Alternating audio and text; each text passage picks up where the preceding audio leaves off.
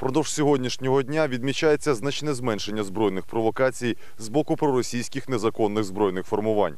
З початку доби бойовики лише шість разів порушували режим повної тиші в зоні проведення антитерористичної операції. Тричі по позиціях українських воїнів в районі Опитного бойовики неприцільно били зі стрілецької зброї, великокаліберних кулеметів та гранатометів різних систем.